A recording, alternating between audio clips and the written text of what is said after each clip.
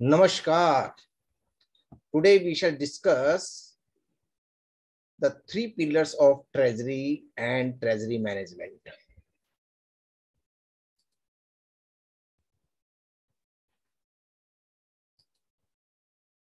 So, cash and cash management is the primary need of every business. Proper cash flow, whether it is inward or outward, writes the success story of a business. Actually, the failure of a business depends on the improper cash flows.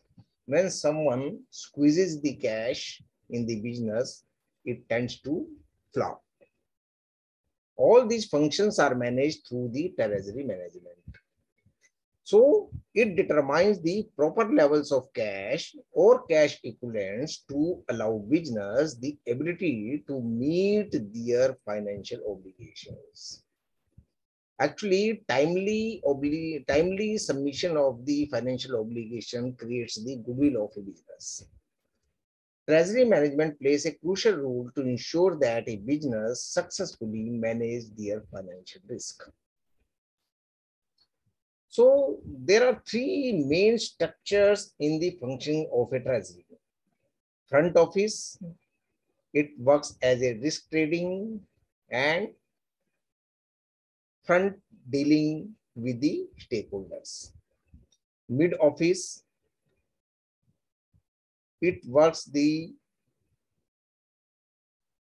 function of risk management and management information. Third, back office, which confirm the deals, accounting, settlement of dues, reconciliation, etc. So what are the functions of front office?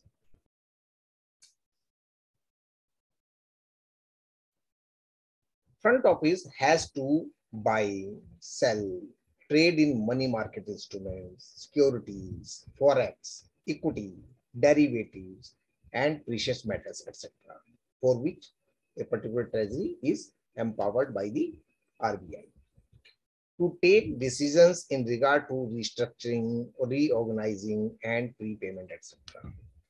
To keep track of and develop their views on different asset class, securities, currencies, derivative products, which are put up to departments, head investment committee for arriving at trading strategic investment entry or exit decisions. So uh, they have, because they are uh, involved in day-to-day -day market, what trend is going on, what is the, what should be stop loss. So, so, so they have to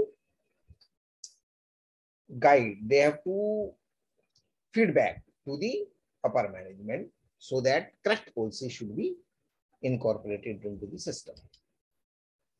So other functions are maintenance of CRR and SLR as per the RBI guidelines, significant interaction with various trading and delivery teams, liquidity management, ALM implementation, striking of deals, trading and earning profit from the trading, follow when issued securities, place order and square up the order well in time against the future holdings. Manage short selling and square of the securities well in advance and reporting to respective authorities. So next uh, number came of mid office, which uh, formulated the policies of risk management and uh, it is a guiding office uh, which works uh, between the uh, front office and the back office. The mid office is considered to be the conscience keeper of the treasury.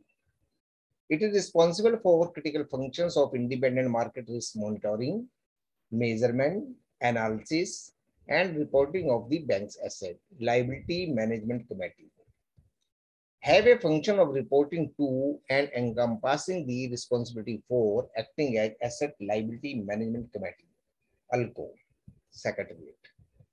Provides independent risk assessment, which is critical to asset liability management committee, key functions of controlling and managing market risks in accordance with the mandate established by the board or risk management committee of a institution, bank or financial institution. It is highly specialized function and must include trained and competent staff and expert in the market risk concepts who can judge, who can view, who can uh, have an open mind uh, uh, and inclined to risk uh, strategies. So to prepare forecast simulations showing the effects of various possible changes in the market conditions related to the risk exposures. Banks using VAR or modeling methodology should ensure that its liability asset and liability management committee ALCO are aware of and understand the nature of the output, how it is derived, assumptions and variables used in generating the outcome and any shortcomings of the methodology implied. So segregation of duties principle must be evident in the function which must report to the asset liability management criteria independently of the treasury function. So segregation of the duty is must and it should be a maker checker concept. It is no all the functions are not given to one candidate because it is a high value transactions. So functions are market risk, management of market risk, liquidity risk, and country risk. So market risk arises on account of interest rate movements, foreign exchange rate movements, commodity prices, and equity prices. Another is liquidity risk and country risk Country risk can be arise independent market risk monitoring, measurement, analysis, reporting of banks ALCO, formation of investment policy of bank's treasury, and formation of ALM policy of the bank. Now the third uh, tier is back office, which is responsible for the accounting, etc. So back office is responsible for delivery and settlement of all transactions concluded by the front office officials. It is also responsible for reconciliation of securities portfolio with respective holding entity.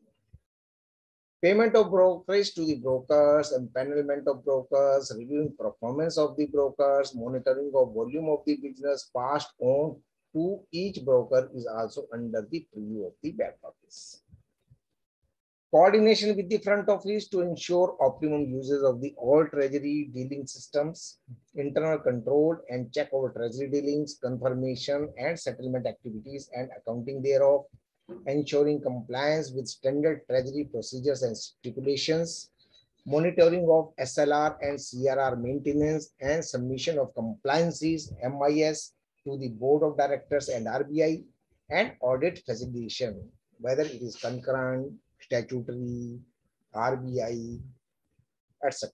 And he has to review the policies as per the RBI guidelines, as per the bank board guidelines.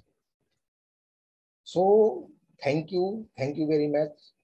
I am an ex-banker having experience of 30 years and valuer of financial instruments.